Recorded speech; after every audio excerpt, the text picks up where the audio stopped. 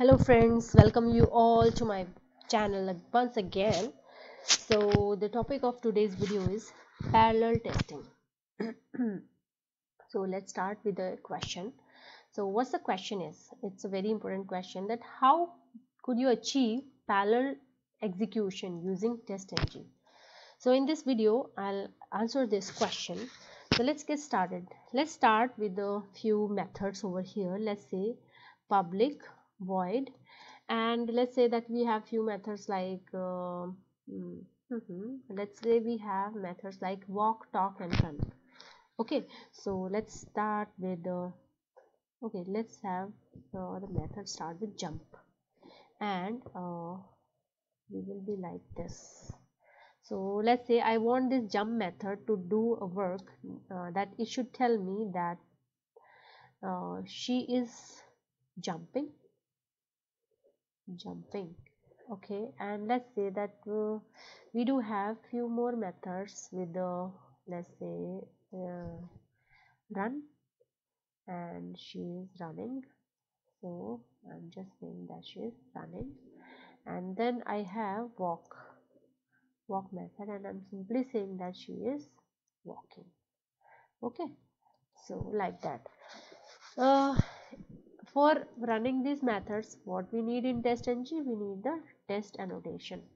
And then we need to import it. Let's import it from test testng annotation. And then we can use the same annotation for these methods. Too over here.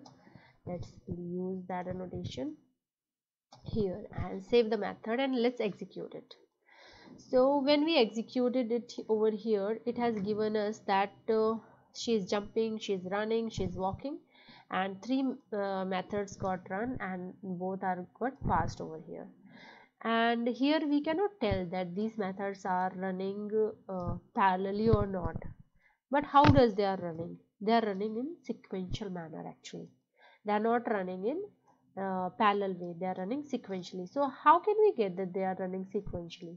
So there is a class guys. The name class is thread. Thread over there and uh, okay one second. So this uh, class thread it comes with few methods. And those methods are let's see uh, we have current thread current thread and dot get id yeah dot get id so before what's the mistake here? Is there any mistake? Um, type the thread is uh-oh. Oh okay no thread it should be correct. What's the issue over there. Mm -mm. okay okay no no no there is no problem. The problem is here that we need to concatenate it. Yes that's the issue. Okay we can concatenate it oh yeah right exactly. Uh, because uh, we are using uh, statement here so we need to concatenate it. That's why it was showing error. So what's thread is? Here the uh, this thread is a class but basically what's the thread is? Let's uh, see what's the thread is here. So uh, actually thread is a path. It's a path. A path that execute the program okay? Now we can say a path for program execution. Program execution is known as thread. So uh, what happened that if something some test some methods are running these uh, test okay these test if these tests are running sequentially sequentially means uh, one after another one after another then these uh, this thread will be only one.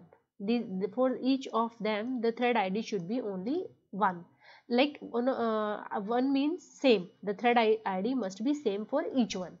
So then only we can say that these are running sequentially.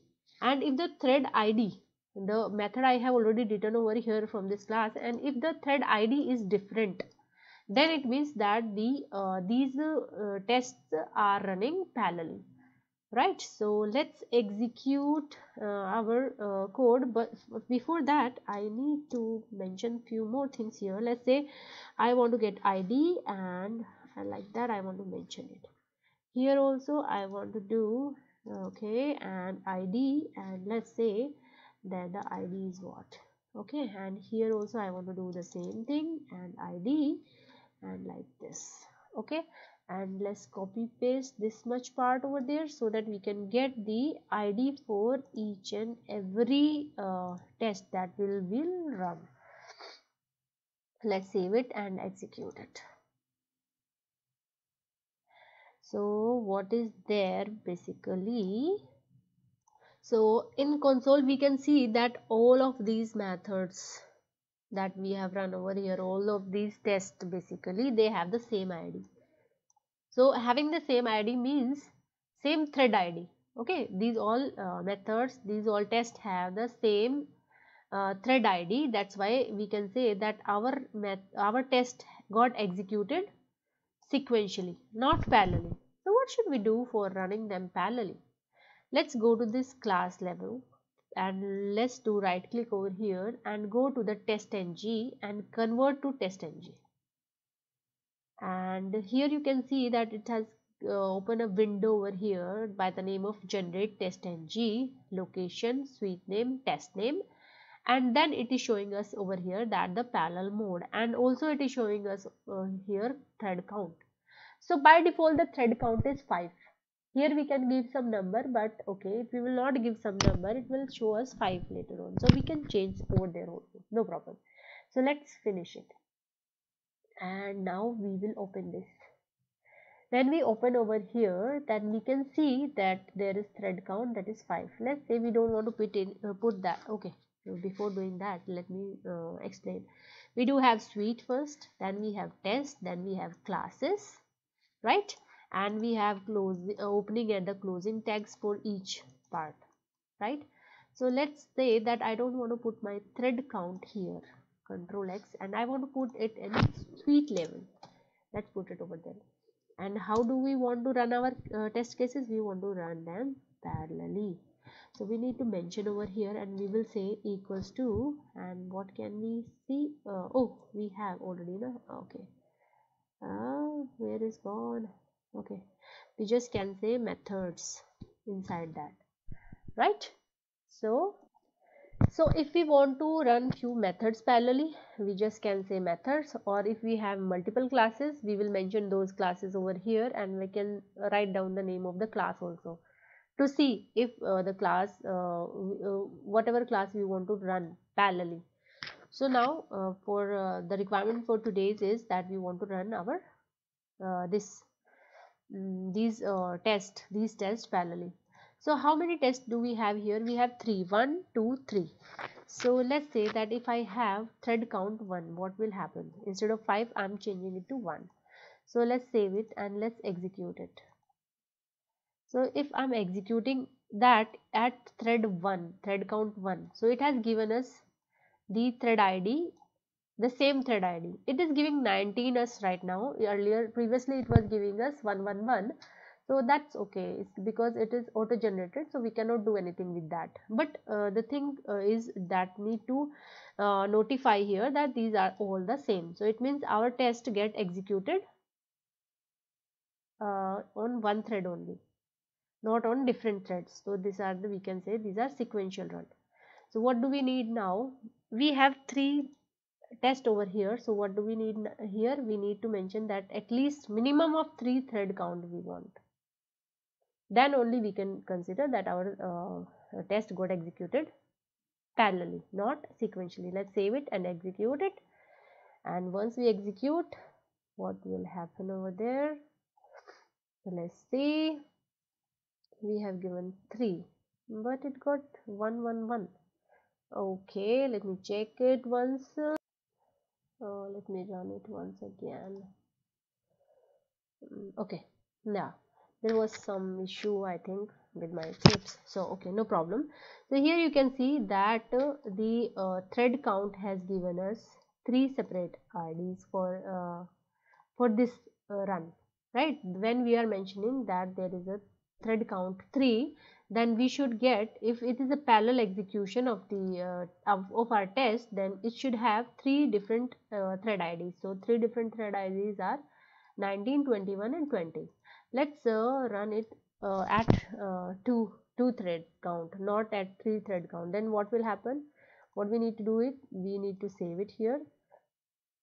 And after saving that let's do right click and run as test testng so you can see that uh, if we have thread count less than the minimal uh, value then it is giving us again uh, the same uh, it is running our uh, test on the same uh, thread id means these are again running sequentially.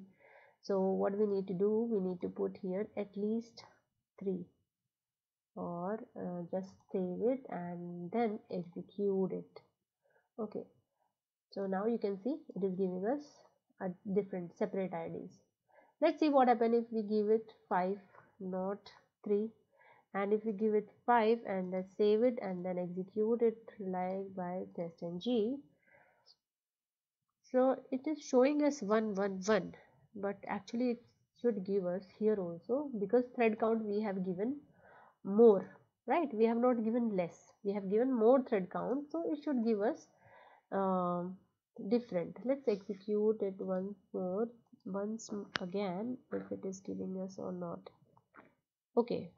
So it means okay let's do it once again. 3 because even I got a little bit confused about it. Why it is doing like that? It's showing it again here uh, different and when we are doing 5 then that's executed then it is showing us again. Separate yeah. That is basically when we are going higher thread count it should show us separate.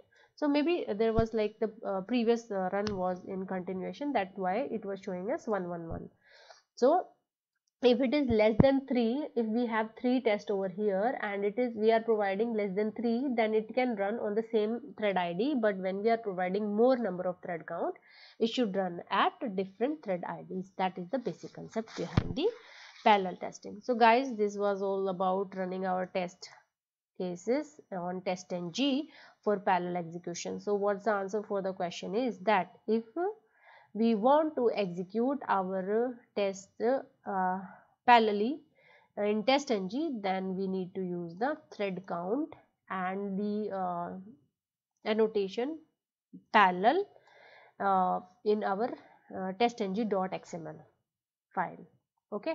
That is the basic requirement for that. And we can say that at suite level we will use thread count and parallel to uh, uh, we can say two annotations for this uh, parallel execution of the test uh, in testng so that is the answer for this question guys. Uh, i hope uh, it is pretty clear over here. Thank you very much for watching. Please do like share and subscribe. See you guys later